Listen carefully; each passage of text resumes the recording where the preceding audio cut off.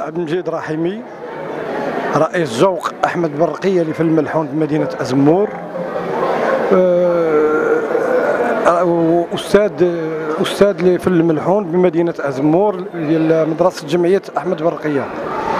آه، بالنسبة للمشاركة ديالي كتجي متتالية من النهار اللي بدات من, الوقت اللي بدات آه، جمعية الفرح للموسيقى وقبل كنا كنا كنتعاملوا مع الأستاذ ديالنا الكبير هو أستاذ مولاي إسماعيل العلوي السلسولي اللي بعد الوفاة ديالو رمى على العاتق رمى على العاتق قبل ما يموت رمى على العاتق ديالي آه سميتو آه رمى على العاتق ديالي هذه المجموعة باش تبقى غادا مستمرة.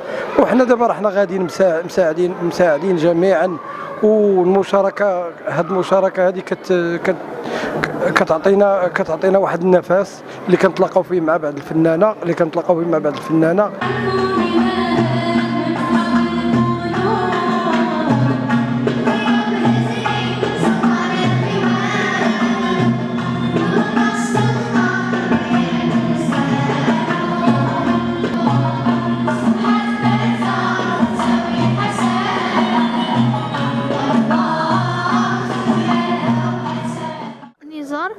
呃 الكنية العراش عمري 12 سنة.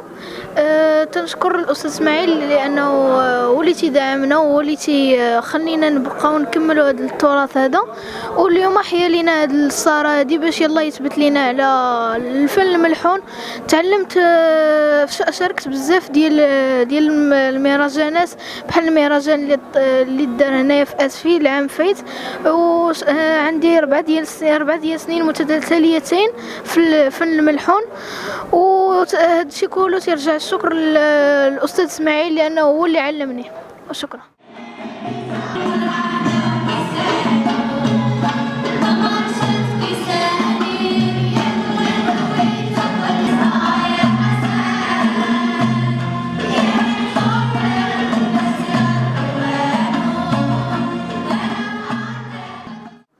الدورة الرابعة ديال المهرجان الملحون.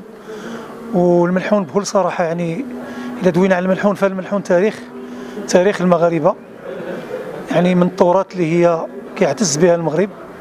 فشكر كل شكر لجمعية الفرح اللي خدات هذه المبادرة ديال الإحياء ديال الملحون. من بعد المرحوم مولاي إسماعيل العلوي رحمه الله اللي هو قطب من الأقطاب ديال الملحون في المغرب. أه بكل صراحة أنا سعيد جدا بهذا الشباب. وهذا البراعم اللي تبارك الله غاديين بواحد لأن آه، كيبقى ديما الأصل أصل. يعني الحمد لله الفنون كاينة كثيرة ولكن حنا كمغاربة كنعتزوا بالأصل ديالنا وكنعتزوا بالتراث ديالنا اللي هو تراث موروث من قديم. وشكرا لكم وأنا كنتمنى إن شاء الله هذا الشيء يتكرر ويبقى. جميع الملحون ولا الأندلسي ولا المشاحات ولا الطرب العصري فنتمنى إن شاء الله الاستمراريه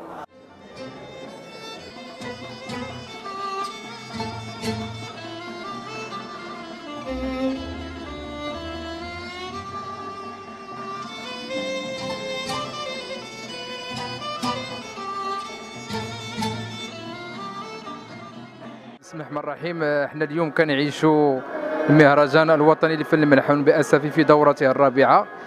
هذا العام اللي كيتميز بأننا حاولنا نلعبوا على الناشئه وحاولنا أننا بالتنسيق مع النيابه التعليم المديرية التعليم حاولنا نقوم بواحد الجولة في عدة مدارس ابتدائية لانتقاء اطفال والمواهب الشابة وحاولنا أننا نكونوا واحد الكورال في الإقليم اللي هو آه، أول مرة كتوقع هذه القضية أننا حاولنا نجمعوا كورال في المؤسسات التعليمية.